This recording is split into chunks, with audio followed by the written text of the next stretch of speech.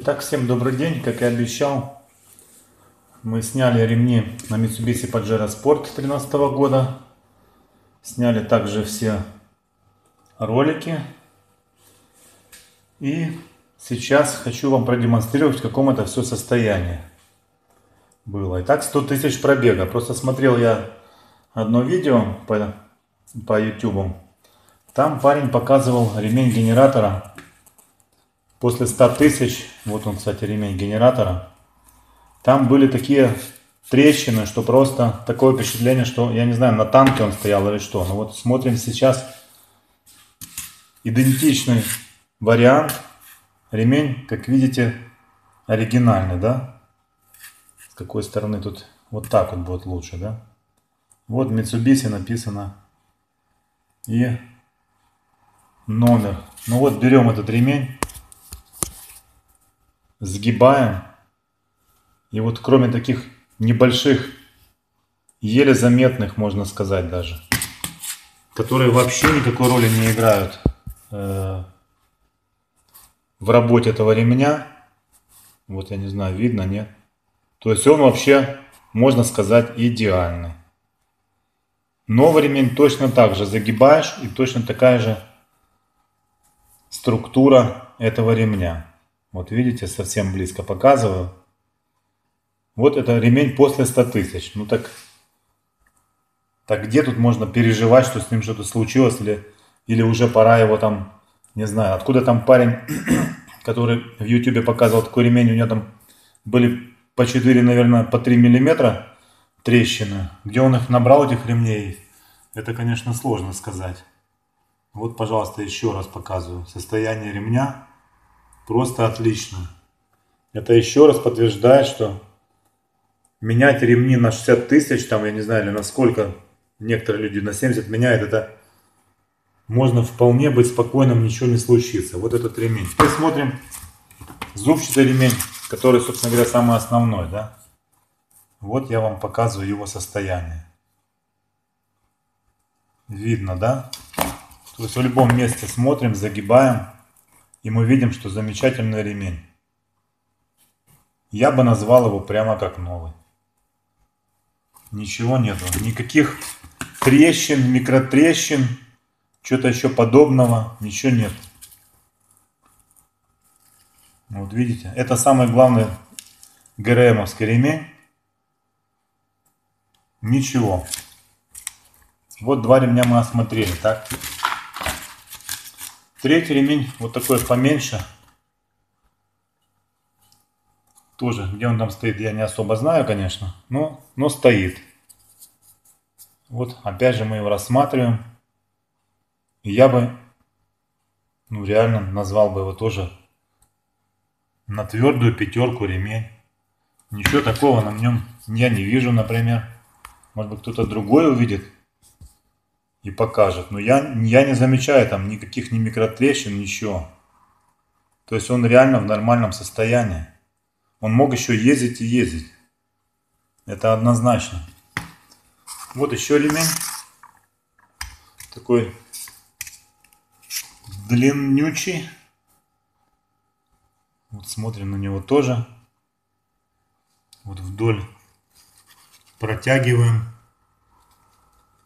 Ну и что?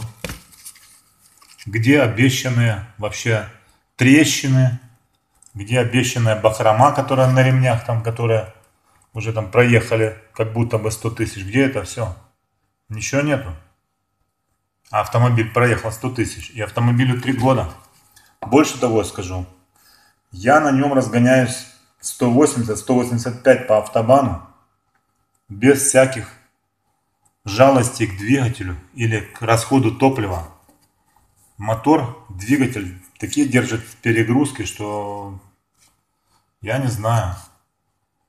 Наверняка бы все бы сжалились. Но я считаю, если у тебя есть автомобиль, ты должен просто ездить на скоростях те, которые тебе подходят на тех скоростях. Ну и плюс то, что все-таки я еще езжу на этом автомобиле по горам. Вот вы ремни мы отложили все. То есть, понимаете, да, это все ремни, не то, что я там ездил по в городском режиме там 50-80 километров в час. Это все реально 100 тысяч, я из них проехал из 100 тысяч, я где-то тысяч, наверное, ну точно половину, 50 я проехал по автобанам. И как я сказал, просто 180 км в час, я думаю, что не каждый из вас наверняка согласится так кататься. Как бы думая, что дизель не любит больших оборотов, там вообще страшно, ничего подобного. Едет оно вообще изумительно, и как видите, все целое. Вот теперь смотрим на подшипники, на эти, на ролики. Ну, ни один из них не шумел, не пищал, не свистел. Это раз. Вот видите? Никаких на них трещин не видно. Все они... Ну, вот это вот кажется, что трещины, на самом деле это просто такая черная сажа. Вот. Вот такой вот. Еще раз говорю, никаких писков, свистов, ничего не было. Вот крутим, он нормально себе крутится.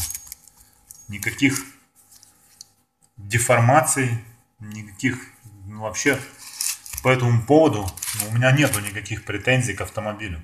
Это еще раз доказывает, вот, вот этим роликом я, в общем-то, хотел бы доказать всем, это уже, ну, реально доказать то, что после 100 тысяч, то есть до 100 тысяч вы можете спокойно ездить на автомобиле, не заморачиваясь, типа 60 тысяч или 70 нужно менять. Но, как я говорил, я ездил по 200 тысяч на вот этих вот ремнях.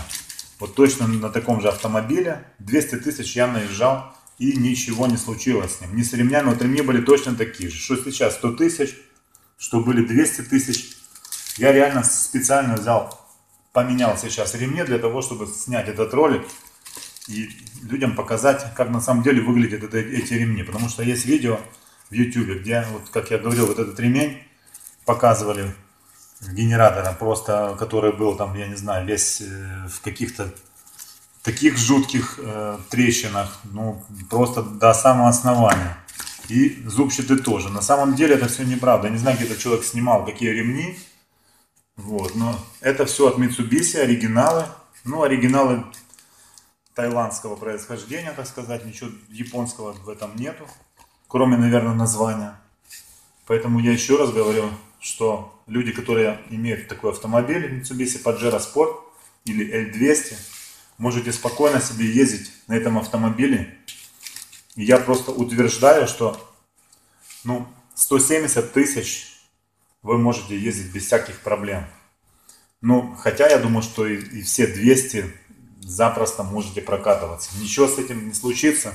Тем более, я думаю, что не все ездят с такими нагрузками, как я, в 180-185 км в час, разгоняя автомобиль.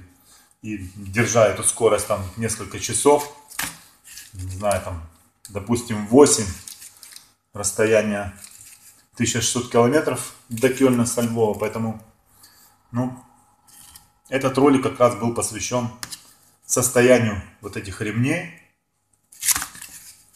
и насколько нужно быть все-таки уверенным в том, что этот автомобиль хороший и не подведет в трудной ситуации с большим пробегом. Так что можете, владельцы таких автомобилей можете быть спокойны и уверены в том, что этот автомобиль и двигатель, и эти ремни не подведут, не оборвутся и не сломаются.